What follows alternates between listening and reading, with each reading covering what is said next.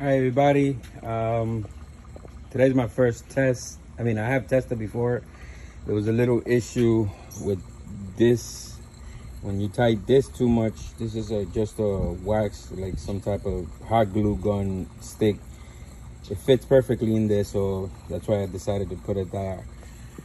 So I was having like a little leak and I didn't know why, but I figured out that if you get it too tight, it kind of breaks the hot glue gun stick and it starts leaking but it's my first time running it through.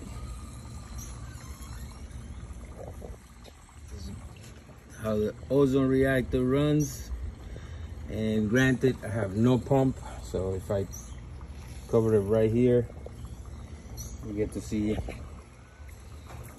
how stops the bubbles once I let go See the bubbles coming out again.